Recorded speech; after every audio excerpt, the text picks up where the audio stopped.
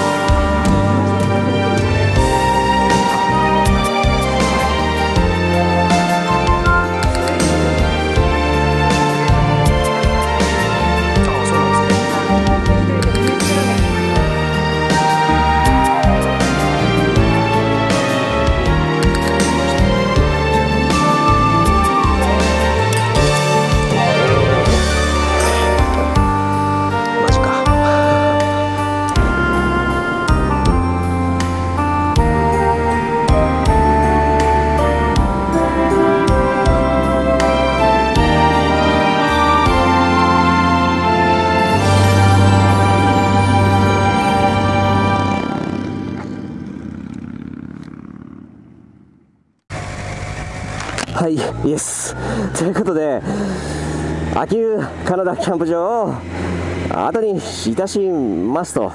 で今日は先ほど茨城県のキャンプ村柳瀬というところに電話をしたら予約 OK ということで予約 LINE 予約が必要らしくて LINE で予約しました。東北キャンプツーリング4日目宮城県秋保カナダキャンプ場を後にし福島県を通過し茨城県キャンプ村柳瀬まで向かいます。相馬港。あもう福島県なんですねここ。福島県に入りました。福島県はま通過で終わりますね。おおすごいな。福島県相馬市にある全長520メートルの松川浦大橋。漁港改修工事の一環として1992年に整備され松川浦県立自然公園に位置します。遠く石巻市の金華山を望むことができ交通の要所であるとともに観光のシンボル的存在です。おなんか趣のあるトンネルですね。近づいてきましてこれ。この岸壁。岸壁トンネル。趣ある。このトンネル。えい！えトンネルトンネル！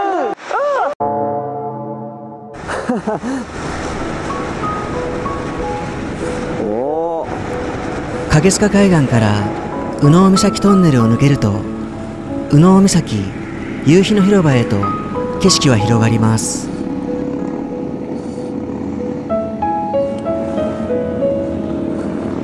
ここから大須海岸へと続く一直線の海岸ルートはバイク乗りにはたまりません。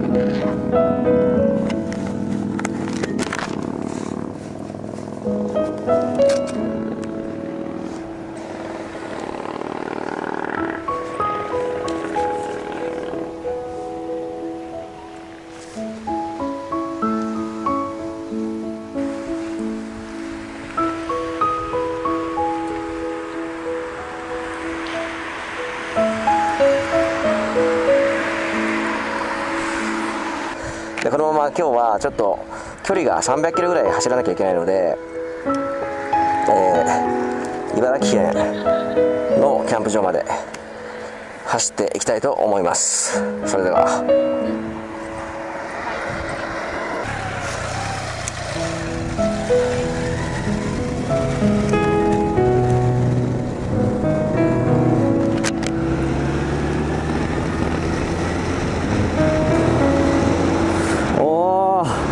そしてここがですね魚野岬というところでした。はい。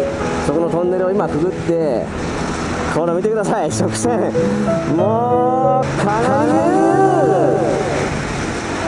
おお直線ですよ。すごいなこれ。おお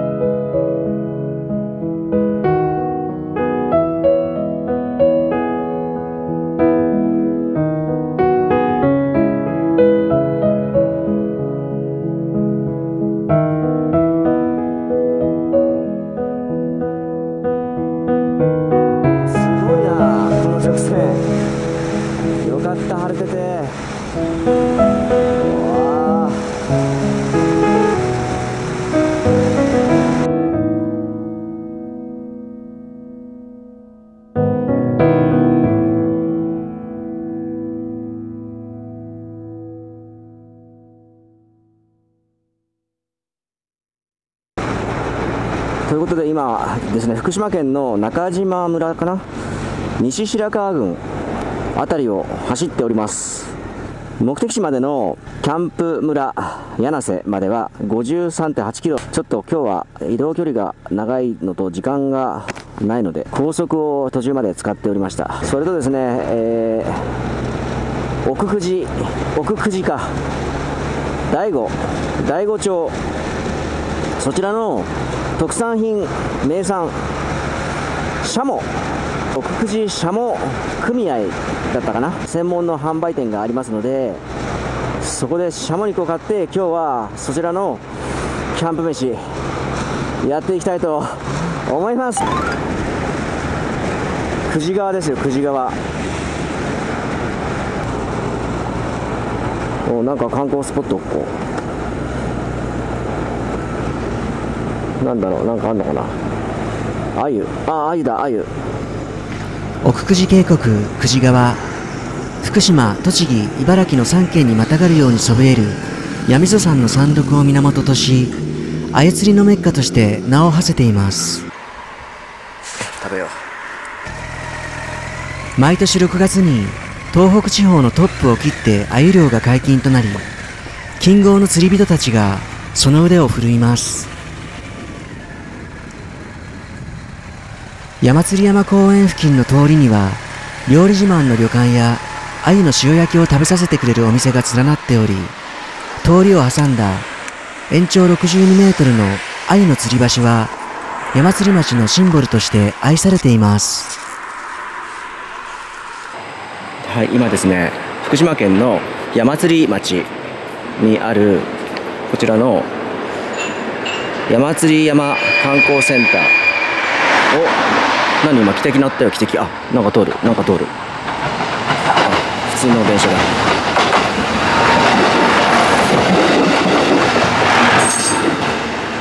あなんだよ。今汽笛がなんか蒸気機関車かと思った。これないんだね踏切が。あゆの吊り橋は行かないです。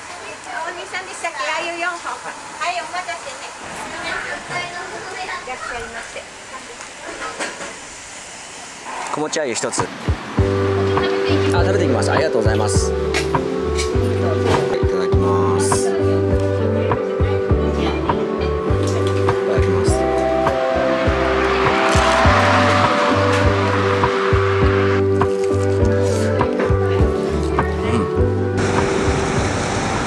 茨城県大子町入りました。日本一おいしいお米の産地大子町奥久慈シャモ組合センターだったかな。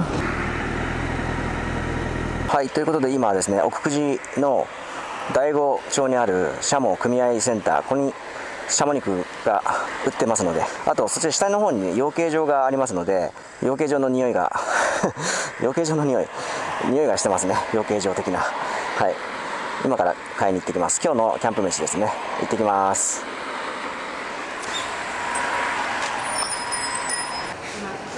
が半額になってスライスが結構おすすめなんですけど胸とももとサミが3種類くらい入ってましたああそうなんですね。はい。これ1人でも 200g なんで、はい、量もちょうどいいしすき焼きとか親子丼とかにもいいし焼いて食べても美味しい。じゃあこれ一つください。はいありがとうございます。ありがとうございます。ゲットです。もうあれです。ね今日秋分の日じゃないです。か気づいたら。調べたら秋分の日なんですよ今日。で今ほのかに今年初金木犀の香りがほのかに今してます。香り聞こえてますでしょうか？なんか郷愁って感じですよ。キャンプ村柳瀬。右方向こっちか。ちゃんと看板出てますね。お。おいいじゃないいいじゃない。シャモ肉を購入してバイクを走らせること数分。本日の目的地キャンプ村柳瀬に着きました。目の前には久慈川が流れ緑豊かな山々に囲まれたオートサイト。